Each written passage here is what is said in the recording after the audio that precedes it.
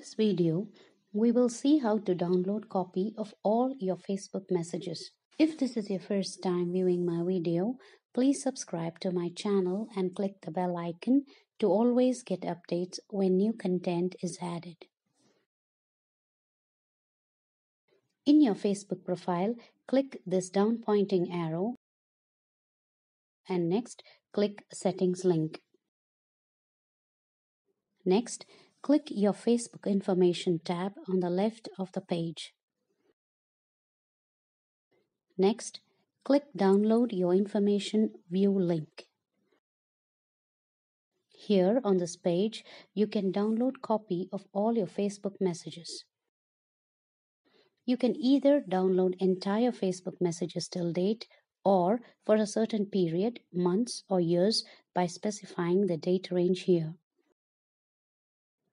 You can either download Facebook messages in HTML format or JSON format.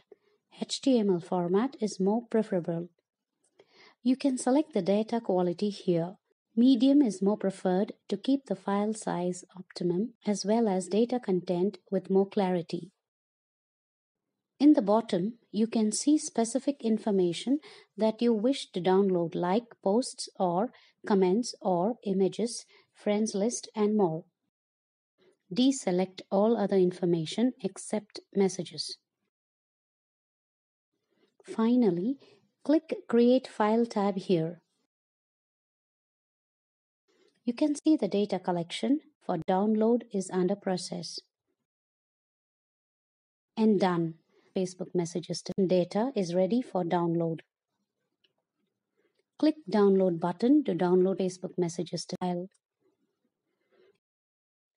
Next, you need to confirm.